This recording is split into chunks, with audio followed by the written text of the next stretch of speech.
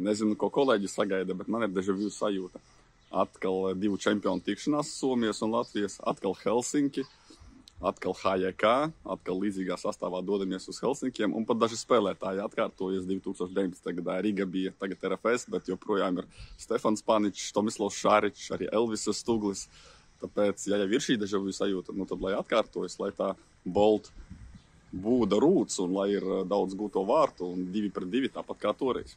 Nezinu, ko kolēģi sagaida no pirmās spēles, bet es ceru, ka uz šejieni atvedīsim eh, vismaz neizšķirtu viens pret viens piemēram, lai šeit būtu pēc iespējas vairāk skatītāju, būtu intriga, būtu drives, emocijas un beigās arī prieks.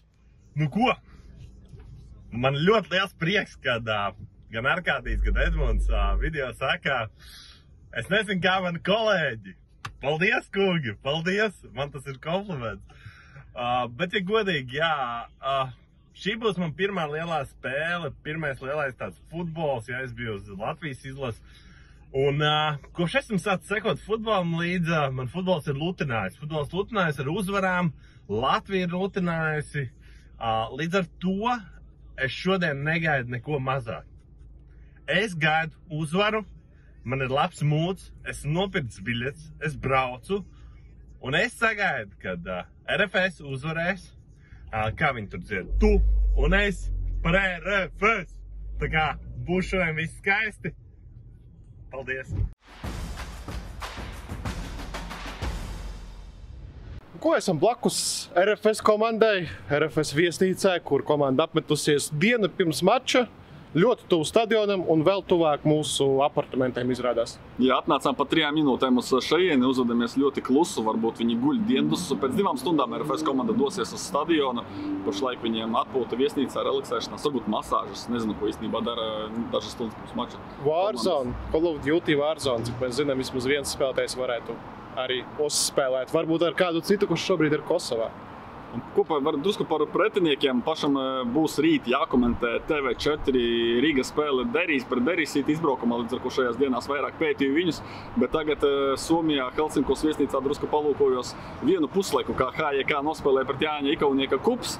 Es teikšu tā, ka Derijas City man patīk labāk un kups, nevis kups, bet HJK spēlē diezgan garlaicīgu, lēnu, akadēmisku futbolu, bez agresīva presinga. Viņi ielaida 6. minūtē un nemaz nemēģināja ieslēgt citus ātrumus, iet presingā Jāņa Ikaunieka ka komanda mierīgi arī pakontrolēt bumbu.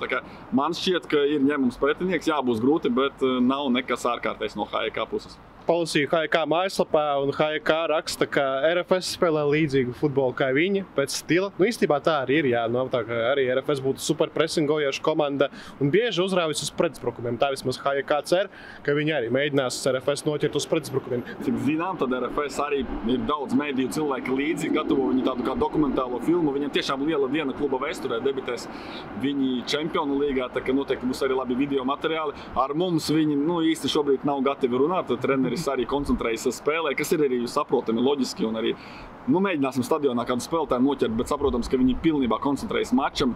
Nu, bet mēs arī centīsimies stāstīt par gaidāmo spēli. Mums jau arī saja video visu laiku, tur, ko es filmēju, dokumentāli. Jā, jā. Tad daudz jau es šodien runāju kamerā.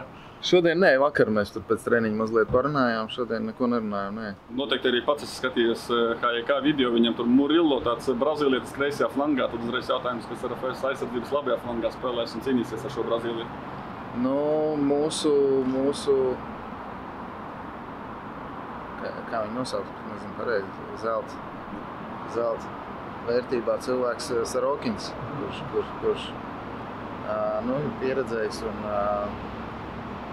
kārtējo reizi atkal ir izcīnījis vietu pamatsastāvā, lai gan liekas, ka mēs to pozīciju pastiprinām un atnāks kāds spēcīgāks spēlētājs, bet jā, šobrīd atkal uz Eiropausiem Sarokins atkal ir pamatsastāvā un viņš spēlē. Pāri centram viņam ļausiet iet vai tikai uz aizsardzības grupas jākoncentrē? Uh, nu, skatīsies, kā spēle ritēs. Es saprotu, vismaz vakar runāju ar treneriem, teica, ka ir doma, ka mazliet viņus paprasingot, bet nu, pēc tam varbūt viņas mazliet zemāk sagaidīt. Nu, skatīsies, kā aizies. Kā tas par tevi iespējas par HJK? Cik es paskatījos par kups, viņi tā diezgan lēni spēlē lēnu futbolu. Nu, nav viņiem laikam tas labākais nogrieziens sakarā ar tām daudzām traumām, kas viņiem ir. Un, un, un, tur vēl kaut kāda skandāla, viņam tur viens cietumā ielika. Un čempionātā un kausā nav tie labākie rezultāti. Tagad nu, skaidrs, ka viņi uz Eiropausiem skatās kā kā turnīru, kurš var izmainīt viņiem šo sezonu un, un varbūt pat tādu atspērienu punktu kļūt. Un, jo es saprotu, arī ir runas par treneru maiņu. Es domāju, ka Eiropas bija viens no tiem iemesliem, kāpēc nenoņēma viņa treneriem. Sešas spēles pēc kārtas uzvarēja. Noteikti domā, ka nu, tik īsā laikā jaunam trenerim būs grūti. Un plus šī Champions League kvalifikācija ir labs veids, kā viņam daudz ļaut re rehabilitēties. Tāpēc es domāju, viņiem arī ir ļoti liels cerības uz šo spēli. Un, un viņi būs ļoti nopietni noskaņojušies. Nu, dažreiz pēc tādām neveiksmēm sērijām, protams, ka viņi, viņi mēģina atgriezties sezonā caur šiem mačiem. Nu, mēs viņiem mēģināsim neļaut to izdarīt un paildzināt viņu krīzi. Kā pārējām lietām, mākslīgais laukums, nezinu, ceļojums uz šejienes, organizatoriskās lietas, viesnīca, ēdināšana, viss, viss kārtībā, visi veseli apmierināti. No, salīdzinājumā, salīdzinājumā ar pagājušā gada lidojumu uz Fēru salām, šitie ir ziediņi un viss, viss bija, principā nekādas problēmas nebija. Nu, tas, ka tik, tikai tas, ka uh, sintētiskais laukums, jā. Uh, nav pierasts spēlēt, tīpaši Eiropasos, sintētiskā, mm, lai gan pagājušajā gadā arī Fērsalās bija sintētiskais. Uh, bet nu, šeit, jā, nu, laikam, dēļ laukuma viņiem būs maz priekšrocība, bet nu, tieši tāda pati priekšrocība mums atkal būs mājās spēlējot uz zaļā. Ceļojums kopumā ļoti ērts, ātrs reizes un, un, un viesnīca labi. Tādā citā ziņā nekāda vispār jautājuma. Pārējais viss super. Kā RFS varbūt pārvarēt to nelielo krīzīti ar trim spēlēm bez uzvarām? Cik varbūt iekšēnē runājāt, ka kaut kas jālabo, nav jālabo? Nu, protams, ka runājām arī tieši tā neilgi pirms Eiropausiem, tāpēc nebija tas patīkami. Bet, nu, tā kā mums vairāk vai mazāk, es domāju, ka tas arī bija saistīts ar traumām, jo, jo daudz vadošie spēlētāji izlidoja un sanāca tā, ka Mums tas viens nogrieziens bija ļoti daudz spēles, un principā viss gulās uz, uz 12, 13 spēlētājiem. Nu, tāpēc mēs vajadzēja parakstīt kādus jaunus spēlētājus, un esam jau parakstījuši. Cerams, ka viņi varēs palīdzēt. Un, un, kad būs tāds grafiks, kurš tagad sāksies, ka viņi grūtā momentā viņi varēs nomainīt tos vadošos spēlētājus un aizvietot pienācīgi vai spēlēt pat vēl labāk. Nu, tāpēc tāpēc nu, tas bija viens jā, no tiem veidiem, kā mēs to pārvarējām. Nu, protams, ka bija vienkārši vajadzīgas uzvaras. Un, paldies Dievam, tagad arī viņas izcīnījām pēdējās kārtās.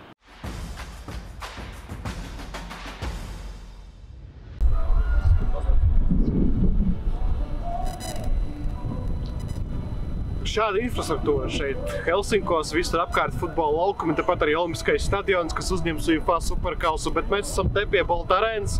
RFS sākuma sastāvs stundu pirms spēles jau ir zināms, un laikam lielākais pārsteigums Pāvils Steinbors izskatās, ka neliels savainojums, un viņa vietā Vitals Černiauskas šodien sāk. Černiauskam arī ir diezgan liela pieredze Eiropasos, pat nevis diezgan liela, bet ievērojama vairāk nekā 30 spēles dažādu klubu sastāvā. Izrādās arī pret HJK viņš ir spēlējis, tiesa gan ne šeit.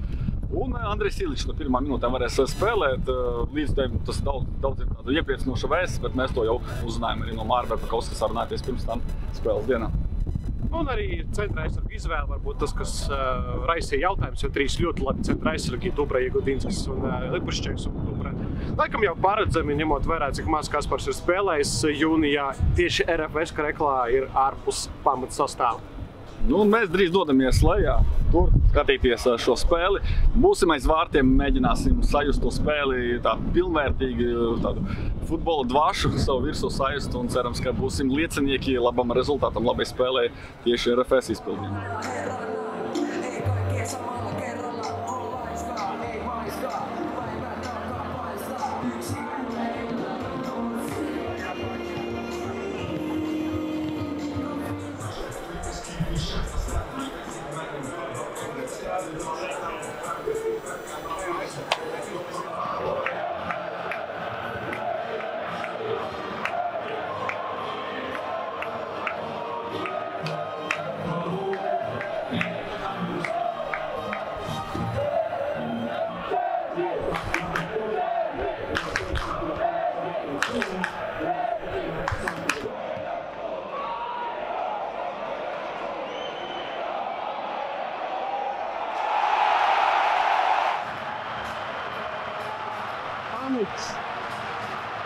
Tiek apēsts un kā ir kā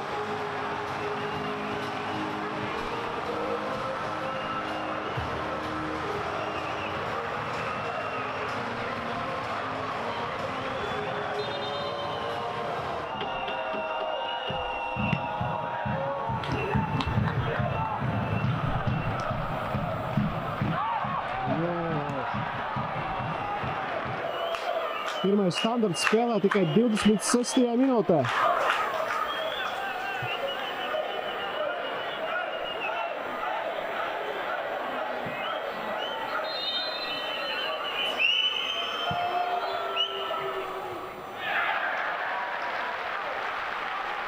Pirmais puslaiks nebija viegls. Māņiekiem vairāk momentu un mums nevajadzīgs kļūdas savā laukuma pusē.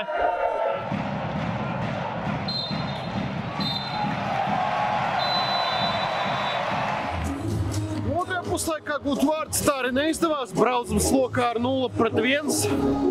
Jāsaka, rezultāts, ar kuru var strādāt. Nav tā, ka Somijam būtu super momenti uz 2-0. Nav tā, ka arī mums būtu izcils iespējas panākt neizšķirtu. Bet pats svarīgākais, ka viss izšķirsies mūsu laukumā, dabīgajā laukumā, mūsu apstākļos.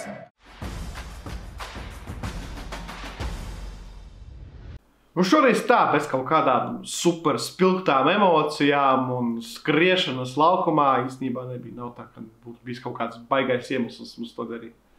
Bet mēs, mēs esam godīgi, kad ir forši un labi, un mēs esam guvuši gandarījumu un baudu. Tad mēs tā arī sākām, tur jūsmojam, tur wow, cik forši. Šorīt nu, nebija, nebija. Un viens no iemesliem ir tāds, ka, kad mēs bijām ar Rīgā, par, fanojam par viņiem. Tad tā bija otrā spēle. Tur izšķīrās viss. Rīgā nomuļājām viens pret viens, izmocījām pret Somiju viens pret viens. Un tad šeit Bolta arēnā divreiz esot iedzinējos, izdevās izglābties un nospēlēt 2-2 un izbraukuma vārtu. Un mēs tālāk.